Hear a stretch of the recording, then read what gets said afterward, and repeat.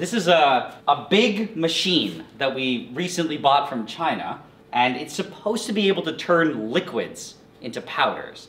And today, I want to test that out with some milk. So, I'll just fill this cup up. And we're using skim milk here because I think it, I think it works better without all the fat in it or something. And uh, put that here. Then just gotta put the little sucker tube in. It's booting up. Okay, I think we want English. So I'll turn the fan on. And I'll turn the temperature on. We just gotta start the needle and the pump.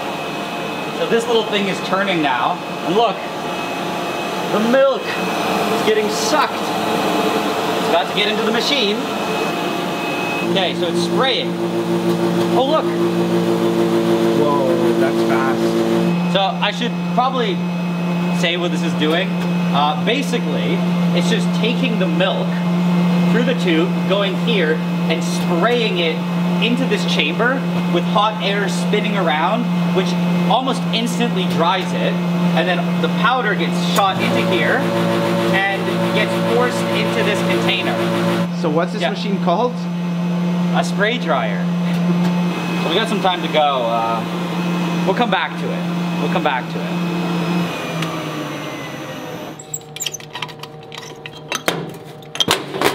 Look at that.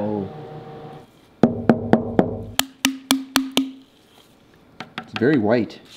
It's still, it's off-white. Is it? Yeah. Yeah, slightly it's like slightly yellow. Does it taste like powdered milk? Let's see. Weird. It's really good. Tastes, I mean, it tastes way better than I thought. Can we turn that powder back into milk? Yeah, I mean, that's a good idea. So I'll shove this into this fresh cup. Okay, and now I'm just gonna get some water and I'll just dump some in.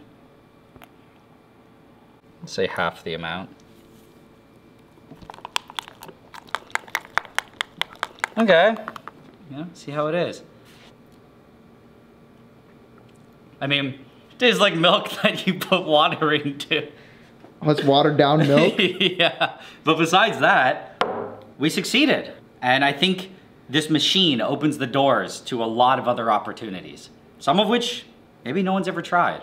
You know, there's a lot of liquids that need to be turned into powders. I'm excited.